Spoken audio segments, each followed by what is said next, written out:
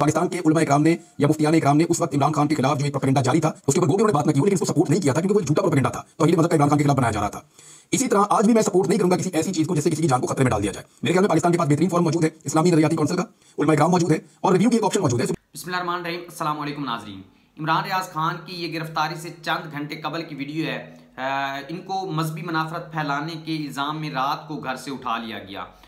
Chief justice Qazi Faez Isa का छः फरवरी का फैसला अच्छा मुख्तलिफ़ लोग ये कह रहे हैं कि छः फरवरी का आखिर फैसला है क्या?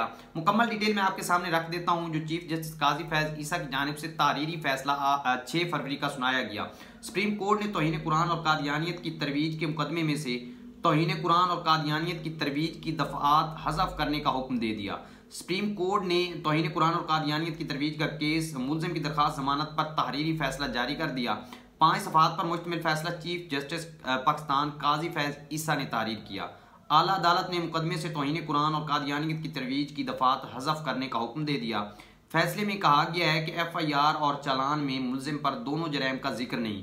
कुरान करीम में नबी पाक सल्लल्लाहु वसलम को भी हुक्म दिया गया कि सिर्फ़ अल्लाह का पैगाम पहुँचाएँ, किसी को इस्लाम कबूल करने पर मजबूर ना करें। फैसले के मतन के मुताबिक मजहबी आज़ादी इस्लाम की बुनियादी खसूसियात में से है। केस से मुंसलिक अफराद ने कुरान पाक से रहनमाई नहीं ली। मुतल अफराद को जल्दी थी कि कुरान करीम और नबी पाक सल्लल्लाहु अलैहि वसल्लम की तोहन हुई है। फैसले में कहा गया है कि कुरान पाक में अल्लाह ने फरमाया है, बेशक हमने इसे नाजिल किया और हम ही इसकी हिफाजत करेंगे। दीन में जबर ना होने का असूल आइन पाकिस्तान में बुनियादी हक के तौर पर शामिल किया गया है। आइन के आर्टिकल ट्वेंटी के मुताबिक हर शहरी को मुकम्मल मजहबी आज़ादी हासिल है और आइन हर मज़हब और फिरके को अपने मजहबी इदारे खोलने की इजाज़त देता है।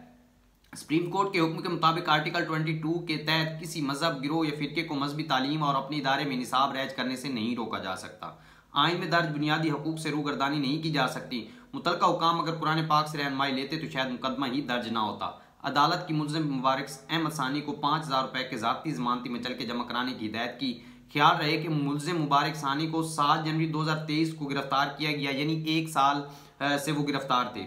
मुलजिम के खिलाफ मुकदमा चन्योट के थाना चनाब नगर, जिसे रबवा भी कहते हैं, यहाँ ये जो है वो कादियानियों का गढ़ है। छः दिसंबर 2022 को दर्ज किया गया था। अच्छा 2019 में 2019 में मुबारक सानी नामी इस शख्स ने कुरान करीम में तारीफ़, चूँकि कादियानी जो है, गुलाम अहमद कादियानी को आखिरी नबी मानते हैं और कुरान करीम में तारीफ़ भी करते हैं, चेंजेस भी करते हैं तो इन्होंने ये किताब जो है वो फैलाई, जिस पर इन पर मुकदमा दर्ज किया गया और 2022 में ये मुकदमा दर्ज हुआ 2023 में इन्हें गिरफ़्तार किया गया।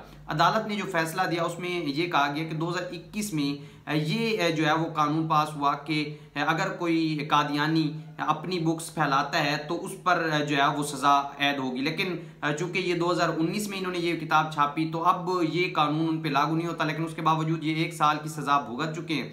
तो अब इनको रिहा किया जाता है। वहीं पे मुख्तलिफ़ की जानब से जो कहा जा रहा है पाँच सौ उलमा का मुतफ़ा जो फैसला आया है काजी फैज़ ईसा और मुसरत हिलाली का फैसला कुरान हदीस और आइन पाकिस्तान के खिलाफ है, इसे मुस्तरद करते हैं। जहाँ पे हमने देखा कि मौलाना फजलरहमान साहब ने भी एक वीडियो बयान रिकॉर्ड करवाया जिसमें उन्होंने कहा कि हम एहतजाज की तरफ़ जाएँगे और बाकी भी बहुत ज़्यादा हर फिरके के उलमा का जो है वो ये कहना है कि हम एहतजाज की तरफ़ जाएँगे और काजी फैज़ ईसा के इस फैसले को हम मुस्तरद करते हैं। इमरान रियाज खान के मुतलिक ये कहा गया कि उन्होंने एक ट्वीट किया। बेसिकली आप देख रहे हैं कि ट्विटर की सर्विसेज़ जो है वो मतल जा रही हैं काफ़ी टाइम से।